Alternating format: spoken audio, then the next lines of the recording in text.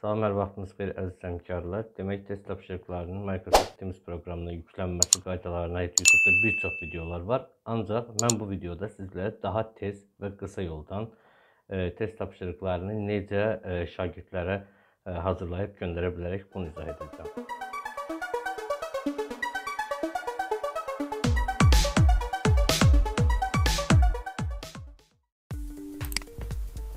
Demək, bunun üçün e, bizə nə lazımdır? İlk öncə əlimizdə şəkil formasında bu tipli testlərimiz lazımdır e, və e, bu tipli testlərimiz lazımdır və, və biz bu daha sonra bu testlərimizi sistemə yükləyəcəyik. Daxil oluruq Microsoft Teams proqramına və buradan tapşırıqlar panelinə daxil oluruq.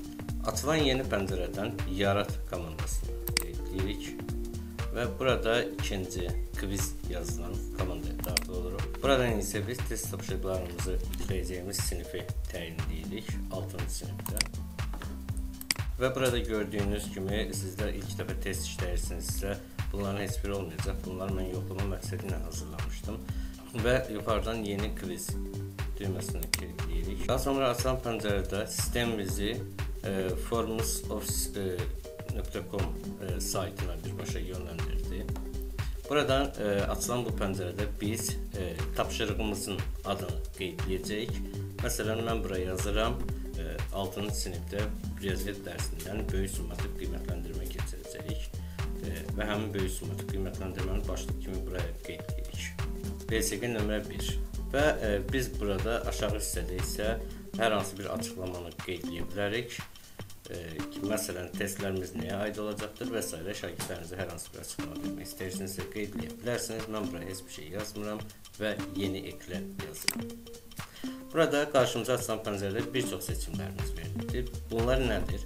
Biz birinci e, test yaratmaq istəyiriksə, seçənək yazılan hissəyə daxil olacaq. Əgər siz açıq tipli suallar yaratmaq istəyirsinizsə, bu zaman e, mətn yazacaqsınız. Yəni, məsələn, tutaq ki, uşaqlara sual verəcəksiniz ki, e, bir neçə mürəkkəb ədəd söylə. Belə bir e, tapşırıq verəcəksinizsə, yəni şagirdlərin yazılı olaraq cavab verəcəyi testləriniz varsa, o zaman mətn yazılan hissəyə daxil olub buradan testinizi yaradacaqsınız.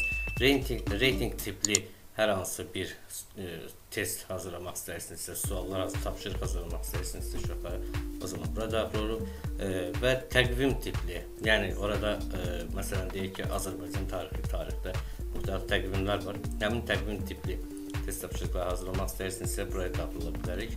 Amma biz ümumi olaraq seçənək yazılan yerə daxil oluruq. Burada biz e, deməli testlərimizin e, başlıq yazacaq. Burada nələr var? Əvvəlcə onu deyim. E, testin sualı. Sualımızı buraya yazacağıq. Siz bu sualı yazılı olaraq əllə də daxil edə bilərsiniz, yaxud e, şəklini də daxil edə bilərsiniz. Videonun əvvəlində sizlərə mən e, şəkillər göstərmişdim. Mən bura sual yazmayacağam. Mən bura e, daha qısa yoldan həll edə bilək deyə testlərimizi daha tez olsun deyə mən buraya şəkil əlavə edəcəm. E, və e, burada seçənəklər var, cavab variantları. E, bunların sayını artıra bilərik. Buradan seçenek ekle yazılan yerdən cavab variantlarını artıra bilərik. Mən indi buraya yazacağım A, B variantı, C variantı, D variantı və Y variantı. Düzgün cavablarımızdan biri bunlardan biri olacaqdır. İndi isə nə edirik? Biz gəlirik sual yazılan, soru yazılan yerə bunu silək buradan şəkil əlavə edirik. Və dediyim ki, siz e, suallarınıza rəsm və ya video da əlavə edə bilərsiniz. Yəni şagirdlərinizə sualınızı video formasında göstərmək istəyirsinizsə, həmin videodan hər hansı bir sualınız varsa, o zaman video yükləyə bilərsiniz. Mən rəsm yükləyəcəm. Buradan isə qarşıdan yüklə e, yazılan daxil oluruq və testlərimizi seçirik. 6-cı sinif PSG1 və ilk sualımız, birinci sualımızı bura qeyd edirəm. Bəli, artıq sualımız hazırdır. E, şəkil formasında olacaqdır. Yuxarıya sual Hər hansı bir sualı e, yaza bilərsiniz ki, yəni bu, şəkilə uyğun olaraq sual yaza bilərsiniz. Mən heç bir şey yazmıram, sadəcə e, şəkilimizdə həm sualımız, həm də variantlarımız görünür. Şagird buradan nə edəcəkdir? Sualı oxuyacaq, hesablayacaqdır və doğru cavabı buradan qarşısına işarə qoyacaqdır. Və biz indi bu testimizin doğru cavabını müəyyənləşdirməliyik ki, bizim testimizin doğru cavabını verməliyik ki, mütləq şəkildə şagirdimiz e, suala düzgün cavab verib vermədiyini müəyyən etsin. Yəni bizim birinci testimizin cavabı Y variantı olduğu üçün baxın qarşısında işarə var. Həmin işarəni biz bir də vuracağıq. E, və burada digər seçənəklər var. Məsələn, siz şagird doğru cavab verdi və siz şagirdin həmin cavabına uyğun hər hansı bir e, əlavə məlumat vermək istəyirsinizsə, yaxud səhv cavablarına aid hər hansı əlavə məlumat vermək istəyirsinizsə, burada bu işarələrin üzərində vuracaqsınız. Mən indi bunları heç birini eləməyəcəm. Yaxud bu variantlardan hər hansı biri sizin üçün artıq hesab edirsinizsə, biz o zaman buradan istədiyimiz variantı da silə bilərik. Bəli, artıq doğru cavabımız var və ikincidir. Biz e, qeyd edək ki, burada şagirdimizin sualına, e, verdiyi suala uyğun cavab e, qiymətləndirməliyik. Məsələn, mən bu sualını şagirdin hər bir sualını e, müxtəlif ballarla qiymətləndirəcəm. Məsələn, baxırıq bu sualımız sadə sual olduğu üçün mən bunu 1 balla qiymətləndirəcəm. Və ə, bu qədər. Artıq birinci testimiz hazırdır demək olar ki, davam edirik növbəti ekrana yazırıq. Yenə buradan seçənəklərdən seçerek sual əvəzinə soru, soru sözünü silirik, şəklimizi əlavə edəcəyik. İkinci.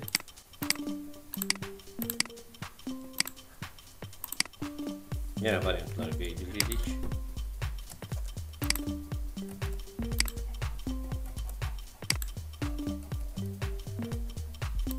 Və artıq gördüyünüz kimi e, hazırdır. E, Və daha sonra biz nə edəcəyik? Burada bəzi məqamlar var, onu sizə deyim. Məsələn, daha qısa yoldan dedik, yaxud biz izah edəcəyik. Onun üçün biz burada e, suallarımızın hamısı eyni tipli olacağı üçün e, burada hər dəfə A, B, C, D, Y variantları yazmayaq deyə e, biz bunun kopyasını götürəcəyik və bütün suallarımız bu formada olacağı üçün e, biz bunu kopyalayacaq. Kopyalamaq üçün isə yuxarıya qalxırıq. Burada e, soruyu kopyala, yaxud burada da yuxarıda da var həmin söz. Burada görünmür nədənsə burada soruyu kopyala sözün üzərini biz bir dəfə vuracağıq və bizim sualımız təkrar-təkrar növbətlərdə əlavə ediləcəkdir. Daha sonra burada nə edəcəyik biz? E, iki e, variant görürük. Birdən çox yanıt və gərəkli. Bu nə deməkdir? Öncə buna deyim, birdən çox yanıt deyəndə biz e, nəyə diqqət yetirəcəyik? E, əgər sizin hazırladığınız sualda sualın 2 və daha çox cavabı varsa, o zaman siz burada bu e, funksiyanı aktivləşdirəcəksiniz. Məsələn, aşağıdakı çoxluqlardan neçəsi tam ədədlər çoxluğudur? Belə bir sual verə bilərsiniz. E, və oradan şagird müxtəlif variantları seçəcəksə, o zaman siz burada birdən çox yanıt komandasını aktivləşdirəcəksiniz.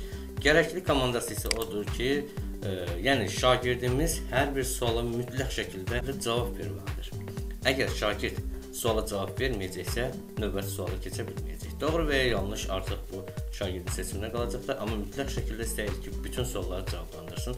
Onun üçün burada bunu vuracağıq. Daha sonra burada puan yerinə baxaq görək testimiz e, nisbətən çətin test olduğu üçün testimizi 3 ballıq qiymətləndirəcəyik. Və e, kopyasını bayaq götürdük. Bir daha izah edin. Kopyasını testini götürmək üçün buradan kopyala soruyu kopyala sözün üzərinə vura bilərik. Daha sonra burada sil komandası var. Bunu silə bilərik. Bu ox işarəsi nəyi göstərir? Mən indi istəyirəm ki, bu testim yuxarıya getsin, yaxud aşağıya getsin. Bunun ötürü isə bu ox işarələrindən istifadə edə bilir. Və gördüyünüz kimi bizim e, testlərimiz e, necə oldu? Birinci testi hazırladıq, ikinci testi biz hazırladıq və üçüncü testə baxırıq ki, e, ikincinin təkrarı düşübdür. E, dördüncü testimizdə yenə təkrar düşübdür. Bu nə deməkdir? Yəni biz kopyaladığımız üçün bunlar düşübdür. Ona görə biz dördüncü testlərə keçirik. Buradan üçüncü testimizin üzərində əməliyyatlar aparacağıq. Bunun üçün nə edirik? Yəni biz hər dəfə A, B, C, D, Y variantlarını işləməyəcəyik. Bunun üçün biz e, yüklədiyimiz şəklin ətrafında e, zibil qutusu işarəsi var. Onun üzərinə vururuq və şəklimiz buradan artıq silindi. Yeni şəkli əlavə edirik. Rəsmlər, qarşıdan yüklə və üçüncü test. Əgər e, burada şəkliniz tam ekran olaraq burada göründüyü kimi yerləşdirmək mümkün olmazsa, o zaman qələm işarəsinin üzərində vururuq və biz buradan bu şəklimizi ayarlaya bilərik. Kiçik formada, e, böyük formada, yaxud bu e, işarələrdən də baş arasında böyük istidə bilərik. Hər bir testimizdə olduğu kimi bu testimizin də doğru cavabını mütləq şəkildə qeyd etməliyik. Biz indi e, bu qaydada testlərimizi işləməyə davam edəcəyik. Hələ ki 3 test işlədik əziz izləyicilərimiz. E, baxaq görək şagirdlərimiz bizim bu testi necə görəcəklər. Bunun üçün ön izləmə yazılıbdır. Buradan ön izləmə yazılan yerə daxil oluruq. Əgər şagirdimiz kompüter vasitəsilə e, test tapşırıqlarını işləyirsə, bu formada görünəcəkdir testlər onun ekranında. Yox, əgər mobil telefonla daxil olubsa, o zaman bu formada görünəcəkdir onun ekranında. Demək, e, gördüyünüz kimi e, bizim bütün testlərimiz artıq verilibdir. Hər biri cavabı ilə qeyd edilibdir. İndi biz hazırladığımız bu testi şagirdlərə necə göndərəcəyik? Öncəliklə qeyd edeyim ki, e, burada bəzi funksiyalarımız da var. Məsələn, tema var. Biz buradan hər hansı bir tema seçə bilərik ki, arxa fonda tema dəyişsin. Əgər istəsəniz bunu edə bilərsiniz. Amma məsləhət bilinmir, çünki şagirdlərin e, diqqətini dağıtırlar. Amma yenə də sizə qalmış bir məsələdir. İstəsəniz dəyişə bilərsiniz. Biz indi e, bu hazırladığımız test tapşırığını şagirdlərimizə necə göndərə biləcəyik? Qayıdırıq biz təkrar etdiyimiz proqramına və bir daha geri qayıdaq həmin hissəyə. Tapşırıqlar panelinə daxil oluruq və tapşırıqlar panelinə bayaqki kimi yeni yarat yazılan yerə bir daha daxil oluruq. Buradan quiz seçirik və e, test hazırlayacağımız, hazırladığımız sinfi buradan tapırıq. 6A sinifində idi bizim testimiz. Biz yazmışdıq BSK nömrə 1 və növbəti düyməsinə klikləyirik. Aslında bu pəncərədə biz bəzi dəyişikliklər edə bilərik. Bayaqlar necə ki biz kateqoriyanı izah etdik. Buradan e, hər hansı bir kateqoriyanı əlavə edə bilərsiniz. Daha sonra e, burada təlimatları daxil edə bilərsiniz. Yəni şagirdləriniz test tapşırığında necə işləməlidirlər ki, neçə suala doğru cavab versələr, neçə bal alır, yaxud testləri necə işləməlidir. Yəni hər hansı bir təlimatınız varsa, siz e, bu təlimatı şagirdlərinizə göndərə bilərsiniz. Biz bunların heç birini demirik. Burada bal var. 100 ballıq sistem biz artıq testləri qurmuşduq e, və təyin et. Və biz buradan bütün tələbələri seçmişik. Əgər siz istəsəniz ki, e, bütün tələbələr iştirak etməsin, e, testlərdə hansı şagirdlərin iştirak etməyini istəyirsinizsə, siz buradan şagirdlərinizi tək-tək seçə bilərsiniz. İndi mən e, bütün şagirdlərimi seçirəm. Ki, sinifin bütün şagirdləri başlasınlar və bitmə vaxtı, test tapşırığının bitmə vaxtı var.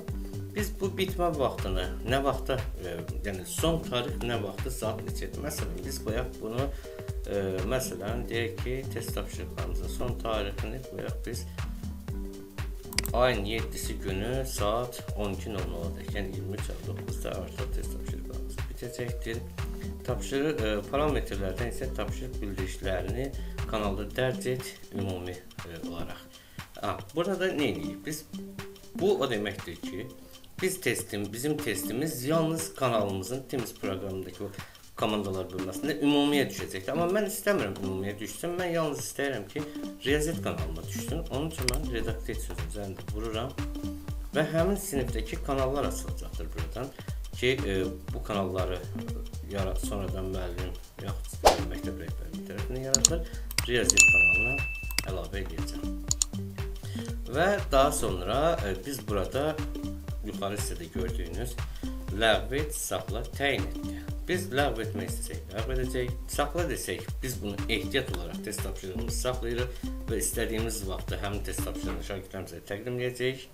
Amma təyin et düyməsinə vursaq, birbaşa olaraq kanalda yayımlanacaqdır. Gəlin e, bir qədər gözləyirik ki, e, hazırladığımız test emal olunsun, sistemə yüklənsin. O vaxta qədər biz gedək komandalar bölməsinə. Artıq gəldik gördüyünüz kimi. Komandalar bölməsinə daxil oluruq və buradan sinifimizi tapıb seçirik. Böyüyəndə aldım sinif. Və e, baxın, orada sonuncu dediyim ümumi hissəsinə yazsaydı, bura ümumiyə düşəcəkdi. Biz riyaziyyat e, komanda kanalına əlavə etdiyimiz üçün buradan gəlib bu riyaziyyata düşübdür. Demək, əziz izləyicilər, növbəti videolarımızda sizlərə e, şagirdlərimizin hər hansı birinin adı ilə e, sistemi daxil olacaq, test tapşırığının işlənməsi qaydasını və həmin test tapşırığının müəllimə göndərilməsi qaydasını izahlayacağıq və e, daha sonra müəllim həmin test tapşırığını yoxlayacaq və şagirdə geri olaraq bildiriş göndərəcəkdir. Bu haqda video çəkəcək. Diqqətinizə görə təşəkkür edirik. Əgər videomuz sizlər üçün faydalı olsa, kanalımıza abunə olub, e, bildiriş butonunu aktivləşdirməyi, çox insanın izləməsi üçün e, kanalımızı bəyənməyinizi e, və paylaşmanızı sizlərdən xahiş edirik. Öz fikirlərinizi videonun rəy bölməsində yazın. E, və qeyd edim ki, e, kanalımızda artıq e, başlanmışı riyaziyyat dərslərindən sertifikasiya hazırlıqlarını start vermişik. İlk videomuz çəkilibdir. Digər videolarımızı isə kanalımıza abunə olmaqla izləyə bilərsiniz. Diqqət